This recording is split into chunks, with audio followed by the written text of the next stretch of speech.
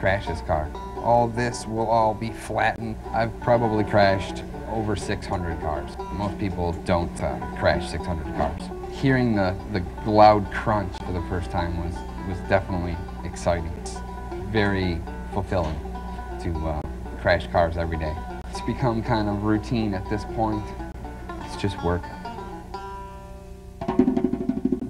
Every year we send dozens of new cars hurling into walls. We whack the latest models from the side, we tip onto two wheels, we slam head on into barriers. Why? Because someday, maybe someday soon, you may do the same. Our job is to do it first. While our work ends up on the web, it all starts in a very different place, like this crash test facility an hour southwest of Milwaukee. We've prepared this vehicle to crash. We have a bunch of sensors uh, measuring these dummies and we've painted the dummies to see where they contact the inside of the vehicle. We have high-speed cameras to catch what happens in a fraction of a second. This vehicle is going to go down the track at 35 miles an hour and crash into the wall. There's hours and hours of pre-test measuring before the passengers even get put in the car. We carefully calibrate each dummy and each instrument to make sure that they give us very specific results that are detailed and oriented to what we're trying to achieve.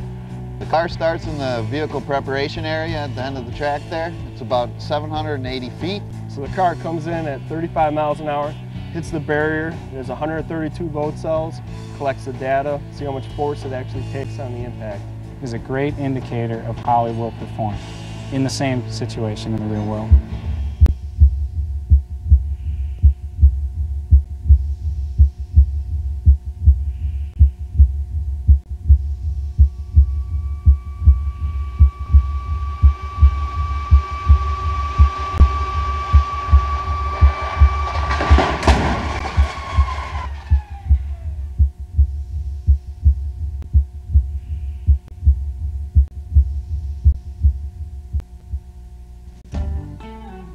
After the impact takes place, uh, a crew will come out and do post-test measurements. What we're looking at after the crash test is to look at the front structure of the vehicle, look at the crush, see how that energy translated to the occupant compartment. We're looking to make sure the airbags deployed correctly, looking to make sure that the seatbelt operated correctly. We look at the contact points from the chalk on the dummy, see how they translated to the airbag and any other structural points on the vehicle. Take a look at the fuel system, make sure that there's no leaks.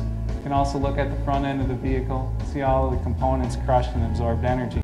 Yeah, I just downloaded all the data, and then what I do is I transfer it to one of the computers in our control room, and they actually physically process the data. Data will tell us, you know, how what part of the dummy got the severe injury, whether it's the rib cage, the head.